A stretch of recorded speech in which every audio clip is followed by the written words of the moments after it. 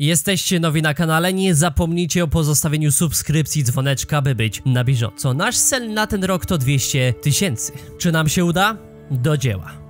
Hej, hej, witajcie, z tej strony Luchuś. Moi drodzy, gdy pisałem ten scenariusz było po trzeciej w nocy. Miałem iść spać, ale nie pozwolił mi pewien interesujący i bardzo intrygujący obraz z nowego odcinka. I pomyślałem sobie o was, o moich widzach i stwierdziłem, że może was to zainteresować. Dlatego też zapraszam do oglądania.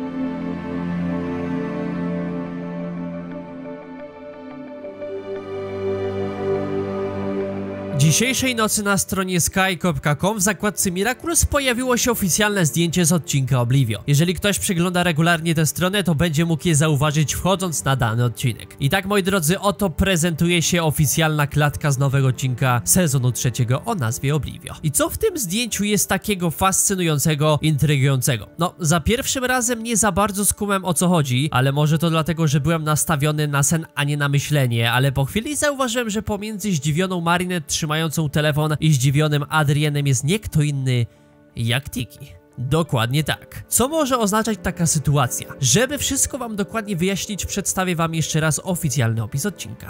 Posłuchajcie. Biedronka i czarny kot stracili pamięć, a tajemniczy złoczyńca krąży po Paryżu. Czy naszym amnezyjnym bohaterom uda się pokonać Oblivio i zamienić go tylko w złe wspomnienie?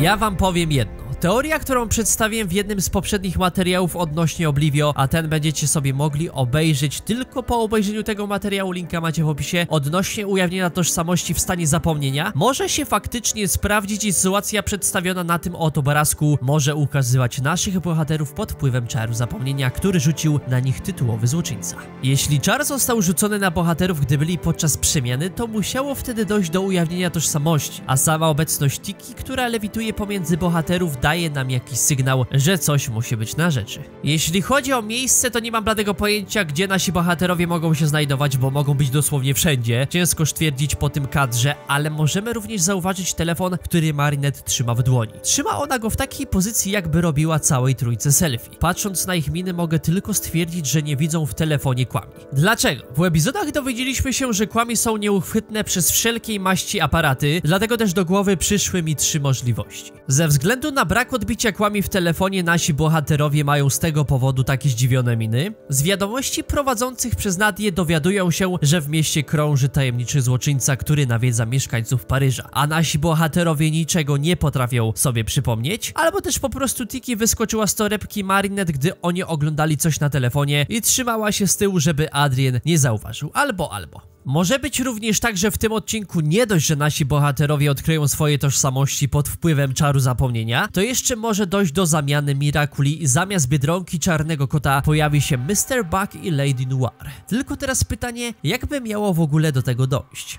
No, jako że tytułowy złoczyńca prawdopodobnie będzie władał mocą zapomnienia i po rzuceniu czaru na daną postać jest ona w stanie amnezji, to stawiałbym na to, że wtedy jakimś cudem mogło być do zamiany Mirakuli. Ale tutaj pytanie, czy kłami będą również pod wpływem tego czaru, czy też nie. No, ciężko stwierdzić, zamiana Mirakulami to chyba jedyny temat, który sprawia mi tak ogromne trudności, jeśli chodzi o stworzenie teorii. Naprawdę. Każdym razie po tym obrazku jestem bardziej pewny niż ostatnio, że dojdzie do ujawnienia tożsamości pod wpływem czaru zapomnienia, a po użyciu niezwykłej biedronki niczego nie będą pamiętać. Ale oczywiście zawsze w teoriach nachodzą pytania i pewne komplikacje, które mogą nam jeszcze bardziej pokiełbasić naszą autorską teorię, która potem już wydaje się nam bez sensu. No, ale takie są niestety skutki snucia teorii.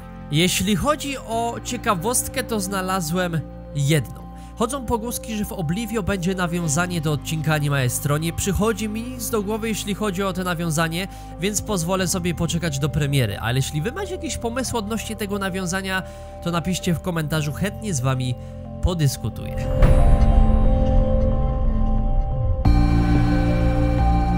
A co do premiery, bo pewnie jesteście ciekawi. Jak na razie premiera Oblivio jest ustalona na 18 marca na godzinę 17.30 czasu polskiego na brytyjskim Disney Channel. Na waszym miejscu brałbym tę datę z takim lekkim dystansem, bo wszystko się może zdarzyć, wiecie jak to jest.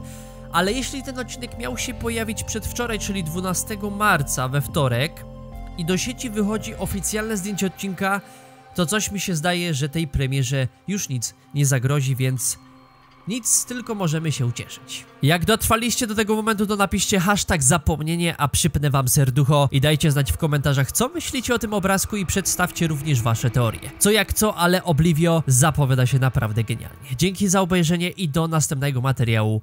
Bye bye.